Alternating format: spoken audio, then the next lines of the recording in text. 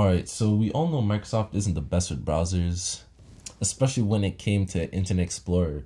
Internet Explorer was probably one of the worst browsers ever created. But of course, we didn't know that until other browsers started, started to come up, like Google Chrome, Firefox, you know. But Internet Explorer, for one, was very slow, had a poor design, and crashed so many times. Like, it was crazy. But you know, it came in Bruh. so it was already built in, and a lot of people still used it. So, what did Microsoft do? Microsoft saw Windows 10 as an opportunity to release a new browser integrated into Windows. So they decided to release Microsoft Edge.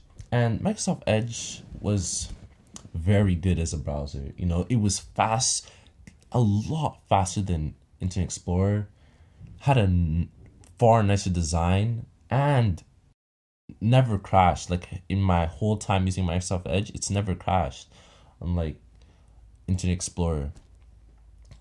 And you think that with all of these things that Microsoft would have the great would be the king of browsers again, right? Well, that's actually wrong. You see, Microsoft Edge hasn't grown at all.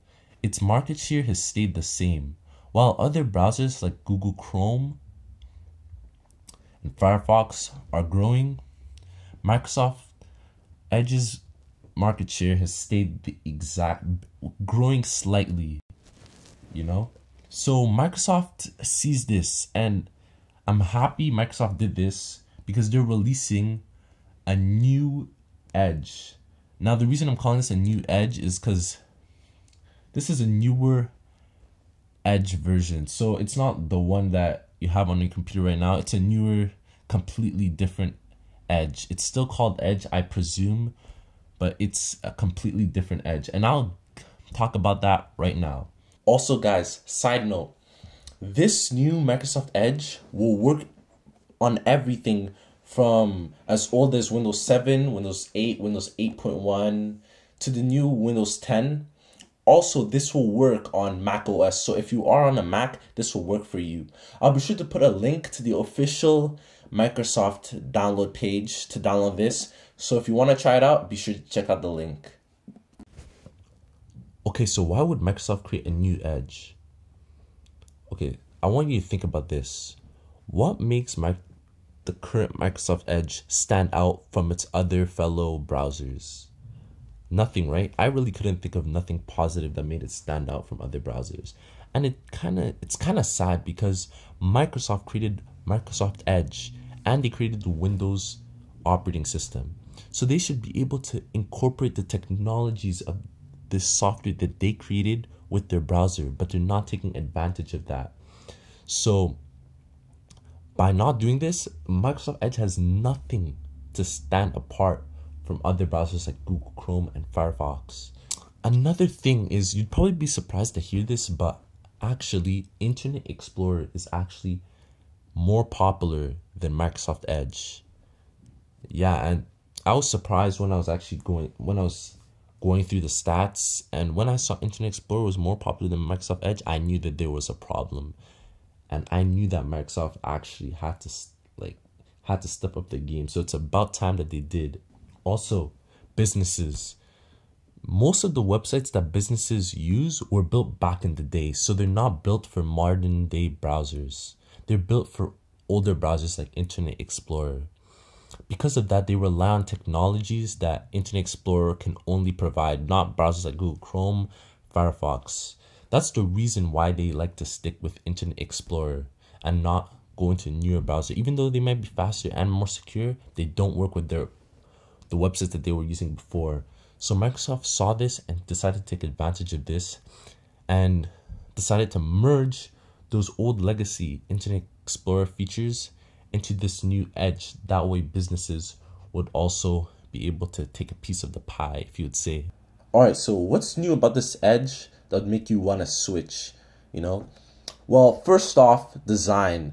This new Microsoft Edge has probably the best design that I've seen of any browser. You bring up browsers like Chrome, Firefox, Opera. I don't think any of them have designs, user interfaces as nice as this new Microsoft Edge. So props to Microsoft for that.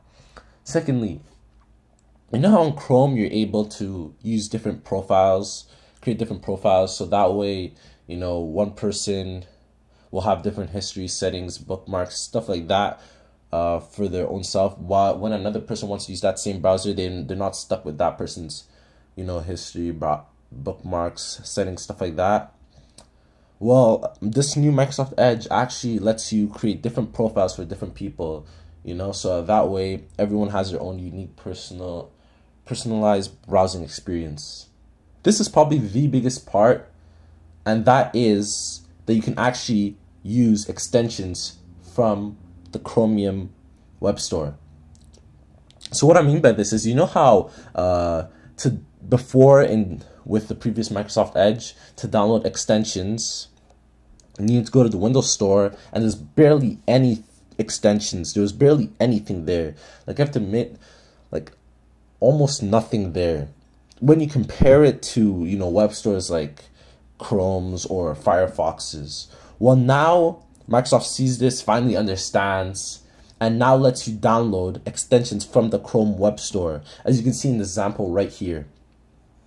Now, this is a big step up, and I feel like this is one of the big things that preventing people from, you know, switching browsers because, you know, one extension, one really useful extension would be available on the Chrome Web Store, but it wouldn't be available for Microsoft Edge.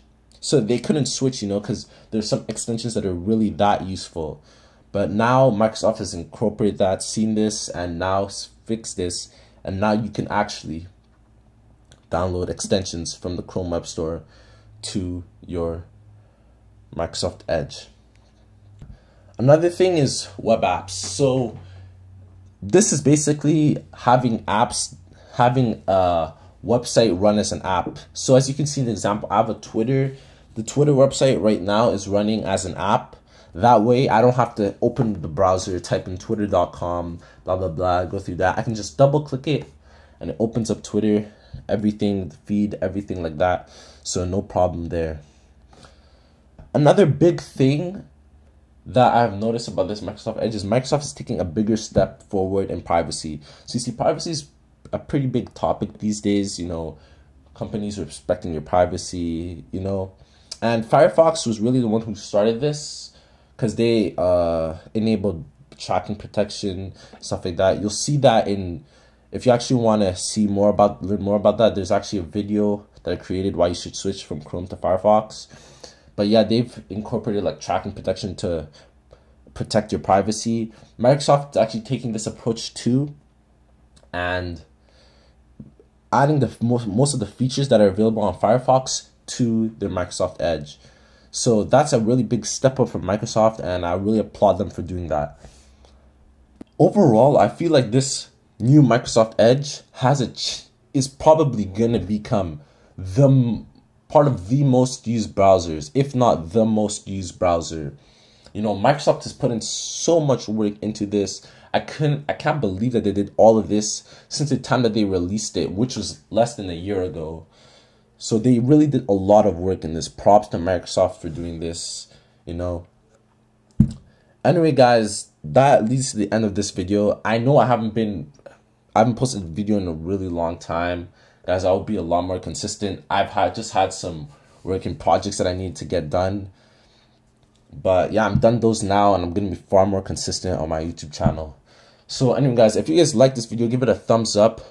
Don't forget to subscribe and share this video guys it really helps me a lot and yeah that's pretty much it thank you guys for watching peace and i'll catch you guys in the next one